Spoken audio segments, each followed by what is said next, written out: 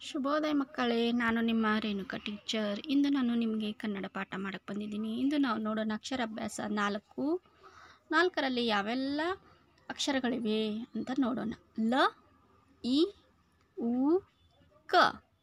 ಲ ಇಂದ ಲಕ ಇ ಇಂದ ಈಚಲ, ಉ ಇಂದ ಊಟ, ಕ ಇಂದ ಕಡಗ. ಮುಂದೆ ಪದಗಳನ್ನು ನೋಡೋಣ.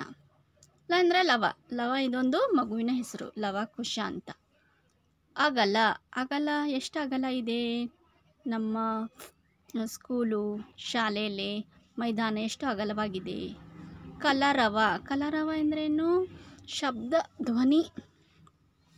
ನಾವು ಮಾತಾಡಬೇಕಾದ್ರೆ, ಜಾಸ್ತಿ ಜನ ಮಾತಾಡಬೇಕಾದ್ರೆ ಯಾವ ಥರ ಆಗುತ್ತೆ? ಧ್ವನಿ ಬರ್ತಾ ಇರುತ್ತೆ, ಗಲಾಟೆ ಆಗ್ತಾ ಇರುತ್ತೆ. ಅದಕ್ಕೇನಂತಾರೆ ಕಲರವ. ಲಕ ಲಕ ನಮ್ಮ ಹಲ್ಲುಗಳು ಹೇಗೆ ಹೊಳೆಯಬೇಕು, ಲಕ ಲಕ ಅಂತ ಹೊಳೆಯಬೇಕು.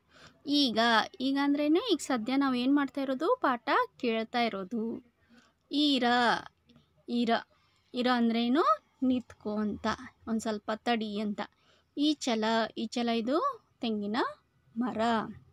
ಊಟ, ನಾವು ಮಧ್ಯಾಹ್ನ ಊಟ ಮಾಡುತ್ತೇವೆ. ಊನ ಊನಂದರೆ ಏನು ಊನ ಅಂದರೆ ಇದು ಒಂದು ಪದ. ಕದ. ಕದ ಅಂದರೆ ಏನು? ಬಾಗಿಲು. ಕರ.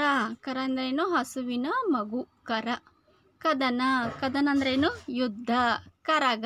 ಜಾತ್ರೆಯಲ್ಲಿ ಕರಗ, ತಲೆ ಮೇಲೆ ಹೂವಿಂದ ಇದಿಟ್ಕೊಂಡು ಕರಗ. ಕಟಕ. ಕಟಕ ಅಂದರೆ ಏನು? ಕ್ರೂರವಾದ. ಕರಟ. ಕರಟ ಅಂದರೆ ಏನು? ತೆಂಗಿನ ಒಂದು ತೆಂಗಿನಕಾಯಿಯ ಒಂದು ಚಿಪ್ಪು ಕಟಕ. ಅಕ್ಷರಾಭ್ಯಾಸ ಐದು. ಐದರಲ್ಲಿ ಯಾವ್ಯಾವ ಪದಗಳಿವೆ ನೋಡಿ. ಎ ಎ, ಇ, ಆ, ತ. ಏನೇನು ಎರಕ. ಎರಕ ಅಂದ್ರೇನು? ಒಂದು ಪಾತ್ರೆಯಿಂದ ಇನ್ನೊಂದು ಪಾತ್ರೆಗೆ ಹಾಕುವುದು ಎರಕ. ಏತ ಏತ ನೋಡಿ ರೈತ ಏನು ಮಾಡ್ತಾನೆ? ತನ್ನ ಗದ್ದೆಯಲ್ಲಿ ನೀರನ್ನು ಎತ್ತುತ್ತಾ ಇದ್ದಾನೆ ಎತ್ತಿ ಗದ್ದೆಗೆ ಸುರಿತಾ ಇರೋದಕ್ಕೆ ಏತ. ಈನ ಈನ ಅಂದ್ರೇನು ಸೂರ್ಯ ಉದಯವಾಗುವುದು. ಆಲ ಆಲ ಅಂದ್ರೇನು? ಆಲದ ಮರ. ಪದ ತ ಇಂದ ತಬಲ ತಬಲ ಬಾರಿಸುವುದು ತಬಲ. ನ ಇಂದ ನಳ. ಳ ಇಂದೇನು ನಳ. ನಳ ನಿಮಗೆ ಗೊತ್ತಲ್ಲ, ನಿಮ್ಮ ಮನೆಯಲ್ಲೆಲ್ಲ ನಳಗಳು ಇದೆ. ಎರಕ ಎರಕ ನೋಡಿದ್ರಿ? ಒಂದು ಪಾತ್ರೆಯಿಂದ ಇನ್ನೊಂದು ಪಾತ್ರಕ್ಕೆ ಹಾಕುವುದಕ್ಕೆ ಎರಕ ಎಡಬಲ ನಮ್ಮ ಎಡಬಲ, ಎಡಗೈ ಹಾಗೂ ಬಲಗೈ. ಏತ ಏತ ಅಂದ್ರೇನು ಎತ್ತುವುದು. ನೀರು ಎತ್ತುತ್ತಾ ಇದ್ದಾನೆ. ಹಾಗೆ ಸಾಮಾನುಗಳು ಎತ್ತುವುದು. ನೋಡಿದ್ರ? ಏಕದಳ ಏಕದಳ ಅಂದ್ರೇನು? ಒಂದೇ ದಳ ಇರುವ ಹೂಗೆ ಏಕದಳ ಅಂತಾರೆ. ಈನ ಈನ ಅಂದ್ರೇನು? ಸೂರ್ಯ ಉದಯಿಸುವುದು. ಆಳ ಆಳ ಅಂದ್ರೇನು? ಹೊಲದಲ್ಲಿ ಕೆಲಸ ಮಾಡುವ ಜನರಿಗೆ ಆಳ ಅಂತ ಹೇಳ್ತಾರೆ. ಆತ ಆತ ಅಂದ್ರೇನು? ಅವನು ಅಂತ. ಆಲ ಆಲ ಅಂದ್ರೇನು? ಆಲದ ಮರ. ಆಗಸ ಆಗಸ ಅಂದ್ರೇನು? ಆಕಾಶ. ತಬಲ ತಬಲ ಬಾರಿಸುವ ವಾದ್ಯ. ತವಕ ತವಕ ಏನೋ ಆತುರ. ಏನಾಗುತ್ತೆ? ಏನಿಲ್ಲ ಅಂತ ತವಕ, ಅವಸರ. ತನಯ ತನಯ ಅಂದ್ರೇನು? ನನ್ನ. ತನಯ, ಇದೊಂದು ಮಗುವಿನ ಹೆಸರು. ನಳ ನಳ ಅಂದ್ರೇನು? ನೀರು ಬರುವ ಒಂದು ನಲ್ಲಿ. ಸಳ ಸಳ ಸಳ ಇದೊಂದು ಹುಡುಗನ ಹೆಸರು. ಕಳಸ ಕಳಸ ಅಂದ್ರೇನು? ಕಳಶ. ಓಕೆ ಒಂದು ಕಳಶ ತೊಗೊಂಬಿಟ್ಟು ಅದರಲ್ಲಿ ಏನಿಡ್ತೀವಿ ತೆಂಗಿನಕಾಯಿ, ಎಲೆ, ಅಡಿಕೆ ಇಡ್ತೀವಿ ಪೂಜೆಗೆ. ಅದು ಕಳಶ. ಬಳಪ ಬಳಪ ಅಂದ್ರೇನು? ಚಾಕ್ ಪೀಸು ನಾವು ಬರೀತಿರುವ ಬಳಪಗೆ ಬರೆಯುವಂಥ ಸ್ಲೇಟ್ ಮೇಲೆ ಅದಕ್ಕೆ ಬಳಪ ಅಂತ ಹೇಳ್ತೀವಿ.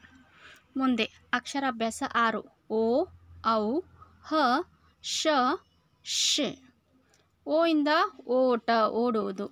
ಔ ಇಂದ ಔಡಲ ಔಡಲ, ಗಿಡ. ಹಯ ಹಯ ಅಂದರೆ ಕುದುರೆ. ಶರ ಶರ ಅಂದ್ರೇನು ಬಾಣ. ನೋಡಿ ಪದಗಳು ನೋಡಿ. ಓಟ ಓಕೆ, ನಾವು ಶಾಲೆಯಲ್ಲಿ ಏನು ಮಾಡ್ತೀವಿ? ಓಟದ ಸ್ಪರ್ಧೆ ಏರ್ಪಡಿಸ್ತೀವಿ. ಓಲಗ ಮದುವೆಯಲ್ಲಿ ಯಾವುದೇ ಸಮಾರಂಭದಲ್ಲಿ ಓಲಗ ಓದ್, ಊದುತ್ತಾ ಇರ್ತಾರೆ. ಔಡಲ, ನಾವು ಔಡಲದ ಎಣ್ಣೆ ಉಪಯೋಗಿಸುತ್ತೇವೆ. ಔರಸ ಔರಸ ಅಂದ್ರೇನು? ಹಣ್ಣಿನ ರಸಗಳನ್ನು ಔರಸ ಅಂತ ಹೇಳ್ತಾರೆ. ಹರ ಹರ ಅಂದ್ರೇನು? ಶಿವ. ಹದ ಅಂದ್ರೇನು? ನಯವಾಗಿರೋದು, ತುಂಬ ಕೋಮಲವಾಗಿರೋದು. ಹಯ ಹಯ ಅಂದ್ರೇನು? ಕುದುರೆ ಹವಳ, ಹವಳಿನ ಸರ ಇರುತ್ತೆ, ಹವಳಿನ ಉಂಗರ ಇರುತ್ತೆ ಒಂದು ಮುತ್ತು. ಮುತ್ತುಗೆ ಏನಂತಾರೆ? ಹವಳ. ಶಕ ಶಕ ಅಂದರೆ ಏನು? ಕ್ರಿಸ್ತ ಶಕ, ಯ ಇಷ್ಟನೇ ಇಸ್ವಿದಲ್ಲಿ ಶರ ಶರ ಅಂದ್ರೆ ಏನು? ಬಾಣ. ನಾವು ನೋಡ್ತೀವಿ ರೋಡಿನಲ್ಲಿನೂ ಹೋಗಬೇಕಾದ್ರೆ ರಸ್ತೆಯಲ್ಲಿ ಶರದ ಚಿತ್ರ ಬರೆದಿರ್ತಾರೆ, ಈ ಕಡೆ ಹೋಗುವ ದಾರಿ ಅಂತ.